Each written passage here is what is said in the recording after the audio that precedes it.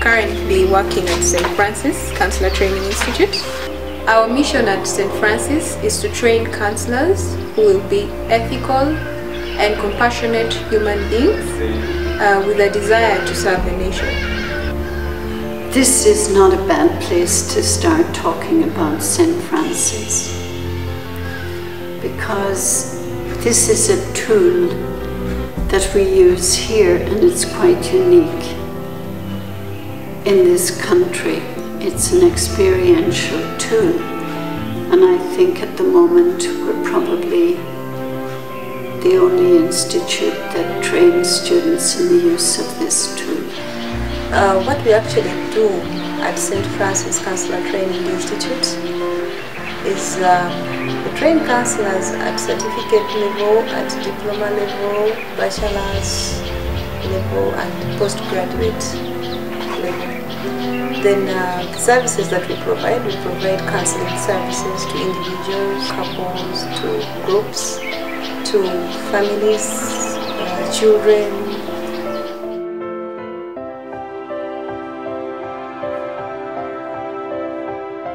I'm in charge of the tailoring school. Uh, our school conducts a program that lasts two years, and our students come from uh, different backgrounds, but mostly from uh, disadvantaged families. I'm Tinuk, which is a Gloria, first year in St. Francis Tailoring School.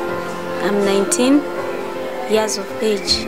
And uh, they pay a small fee which cannot meet all our costs. So what we do is that we have to produce some items for sale and when we sell them the, the school comes the money comes back to the school and we are able to take care of all expenses that normally wouldn't have been covered by their fee which is quite small.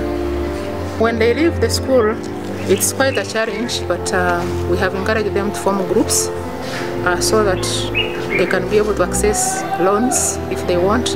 Of recent, we also received a program from the government of Uganda, and that program is for a shorter period, that is three months.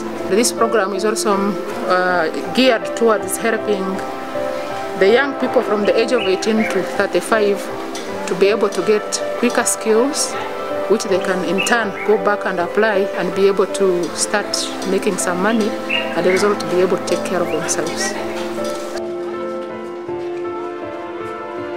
And so we are happy with our program and would want it to continue to help our, our young boys and girls so that they can be able to be self-sustainable in the future.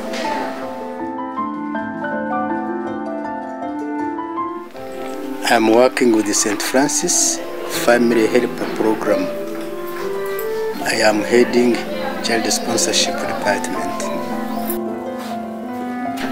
Sponsoring children, especially who are disadvantaged, born from poor backgrounds, poor families. Each child has a, a sponsor and in all now there are above there are uh, 231 children. Each sponsor is asked to contribute the amount of uh, about 450 dollars a year, which will meet the needs of the child, the school fees, the school needs, uh, guidance and counseling services.